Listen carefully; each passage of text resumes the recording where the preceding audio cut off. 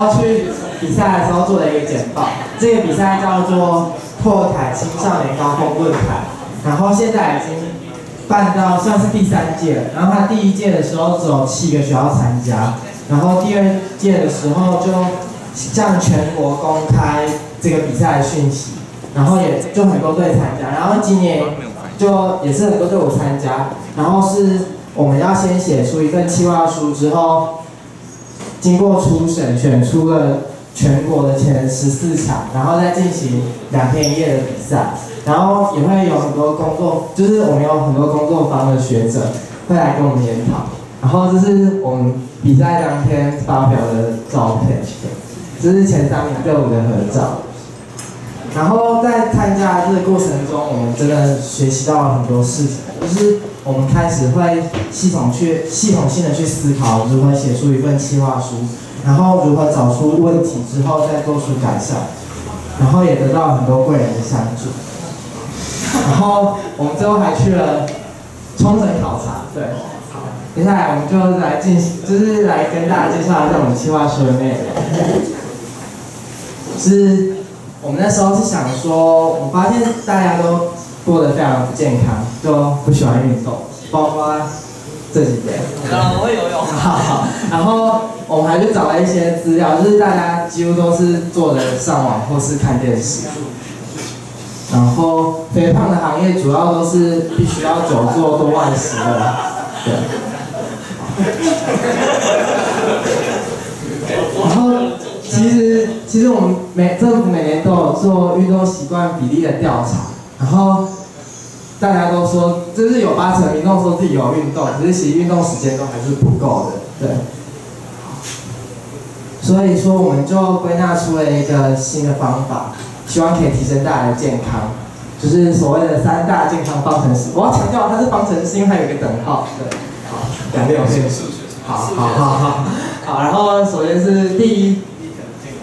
那健康方程式一就是呢，每日运动三十分钟，加每周三次，加每次心跳一百三十次以上，就可以达到呃促进新陈代谢的效果。那它的功效有消耗多余的热量，可以避免肥胖，延长寿命，还有保持健康。然后另外一个比较重要就是饮食健康的部分，所以就是控制热量，加上摄取各种养分等于健康的饮食。首先就是加强营养标示，我们只有去找一些呃政府机关，然后他就有推荐一个格式，就是营养标示的话，最好在旁边都会，就大家买包装的时候旁边都会最好会有标示说你今天吃的东西这个热量已经占你今天的几趴，然后你就可以自己加一加，然后就哦我今天爆表了，就要该节制这样。所以呃像对对，然后再是推动健康饮食标章。我们那时候呃有一个美术很强的同学，他就设计了一个酷酷的标章。它是绿色，是因为呃它要符合国外，现在国外有在推行一种饮食红绿灯，就是红色的话就是呃尽量不要吃，然后黄色可以吃，可是不要太难吃，然后绿色就是多吃比较好，对身体很健康，可是都很难吃。然后呃然后上面一个天平的感觉。呃，我我也看不出来，可是他们坚持有一个甜品在这里，然后就是要均衡饮食，然后对，然后那些标章就是主要是贴在那些绿灯食品上面，就是跟大家说哦来吃我很健康这样，然后加上宣导正确的饮食概念，所以就是还有学校各级营养午餐供应商的观念，就是一些官方可能比较需要强制制定的一些法律啦这样，就对，嗯好。最后就是，好下好下，没电没电没电，没电没电，还还好，等他一下下。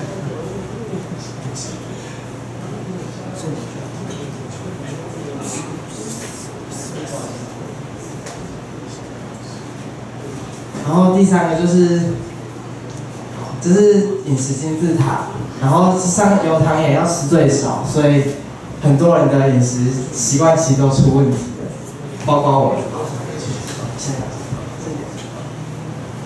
然后接着就是结合第四及第二式相加之后，我们可以得到第三式，就是一个好的新陈代谢，就是运动习惯加上你健康饮食习惯，你就可以过一个非常开心然后有活力的人生。然后我们还推导出了另外一个，就是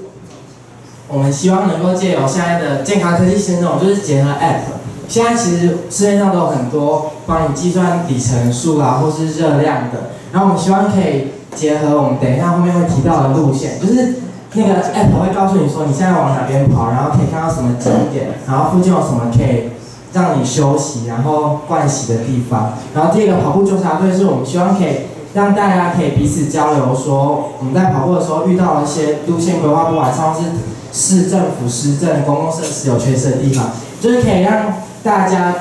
能够因为这个平台啊得到资讯，然后一直受惠。就是希望能在沿线多一点健康补给，就是鼓励附近的餐厅提供盥洗及毛巾、运动饮料。好然后这是台中市政府已经开始做热量标示示范店家的，对。然后这是他们做的热量标示，可是好像没几家店贴，就是效果效果还是有限的。好，接着是我们当时规划出了几条台中市适合市民运动的路线。哦，好好，就这边有一些路线，那时候规划啊，时间有点短，所以就先带过下。这是呃环状越道，就是以前日治时代的时候，他们之前日本人他们就想说，我要在市中心外面画一个越道，就是让大家可以运动，然后不要让飞机那些跑出去。所以现在台中还保留大部分，我们想把它串联起来，然后就以后可以让市民知道说，哦，这圈很好跑，然后还可以去假日休息的地方。然后其他的路线就看一看就好，这是新市镇中心。然后呃中城区就是我们这附近，因为很多古迹，所以想要结合古迹，然后就让你畅游在古迹中这样。对。呃，然后这是河畔，因为它它原本就是很多慢跑者就很推荐的路线，它在头汴溪旁边十九甲那边。然后这是清水沿海，因为它跟我们冲绳，等下我等下会讲到冲绳，它就是也是沿海地区。然后它以前这这个路线也办过一些路跑那些，所以也是比较好跑的地方。然后访然后访访台机构，就我们那时候有去一些机构做访问，然后这是我们的记录，就是我们去狮子会问他们办狮子杯路跑的经验，对，然后结果就是要花很多钱。下一个。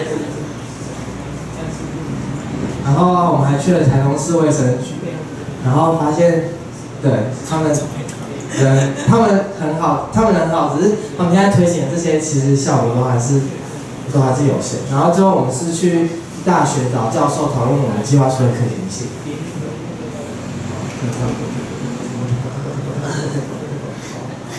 下一个，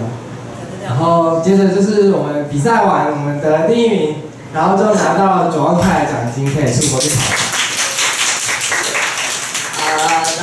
我们就飞到飞飞飞飞到冲绳去了。然后我们为什么选冲绳？是因为冲绳其实跟台湾其实它呃它的风土民情就很像，然后那边人看起来跟台湾人其实一样，只是嗯，然后对那边很多会讲中文的人，然后。嗯，对，其实他他跟日本本来比较远，就是有一个我们学校有一个冲绳来的交换学生，他就说他跟东京比较不熟，就是他们那边当地其实跟台湾还比较熟，因为到东京的路程跟台湾真的差太多，就是东京比较远。然后，所以我们第一天是飞到那霸，那霸在这里，然后我们第第一天晚上就北上，直接到呃上面去北边，因为它北边有一个海参馆，然后我们去那边住宿，所以接下来比较像游记的部分，那。呃，好，下下飞机了，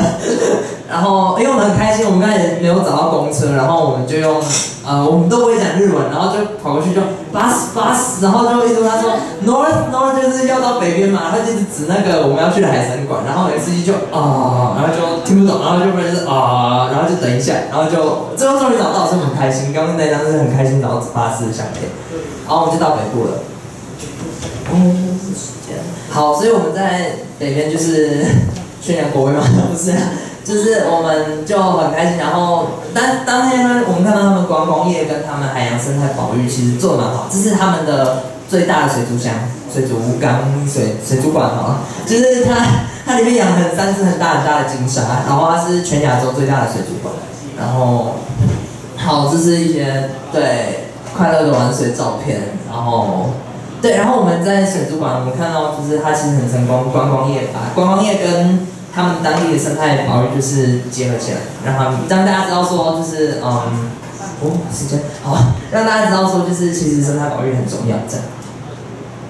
然后对相片相片，然后我们到了一个呃产，它类似产业就是卖凤梨，因为他们当地有产热带水果，可是我们看到其实他们这一块做的好，这里做的有点不好，就是它全部其实都在推销凤梨产品这样。